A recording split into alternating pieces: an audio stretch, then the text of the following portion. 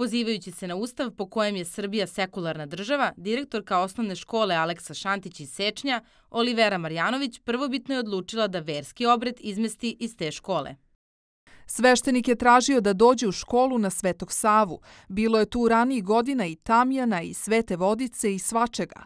Lepo sam objasnila da po članu 11 Ustava Srbije moramo da odvojimo školu od crkve, jer u školu mogu da idu i katolici i muslimani i sve vere, kao i ateisti. I zato u školi nikoga ne smemo da primoravamo da prisustuje tuđim verskim obredima.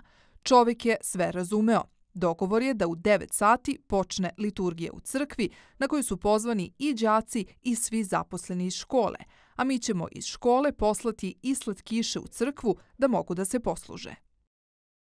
Slučaj je izazvao veliku pažnju i medija i javnosti. Posle velikog pritiska meštana i osuda na društvenim mrežama, mada je nemali broj onih koji su podržali takvu njenu odluku, verski obred održan je u školi, a direktorka je dala pomirljive izjave.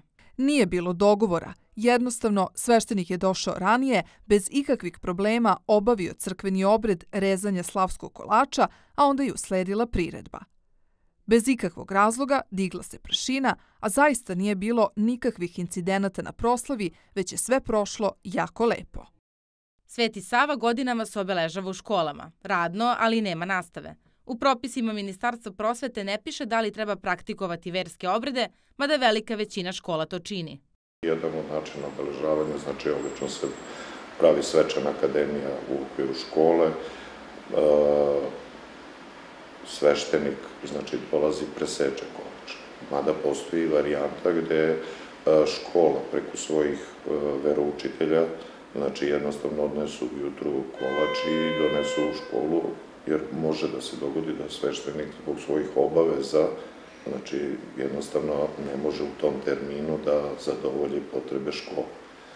Čak postoje škole, znači koje jednostavno e, u, svojoj, e, u svom prostoru ne proslave, nego jednostavno sa decom zaposlenima odu do crkve i tamo obeleže e, Svetog Sava.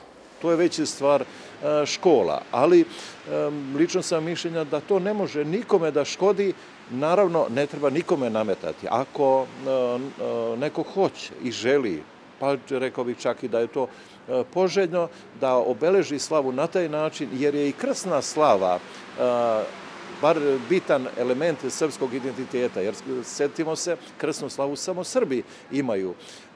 Ako to deca, pogotovo tamo gde je većinski pravoslavni narod, žele da na taj način proslave, to je sasvim u redu.